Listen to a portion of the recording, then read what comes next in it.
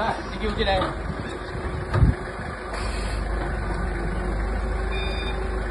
Đây là đi đường qua cổ ấy, đường hai bạc, đường sang hòa gì đấy. Đi phố là khẩu, không căn đi toàn với số tài. Đây là...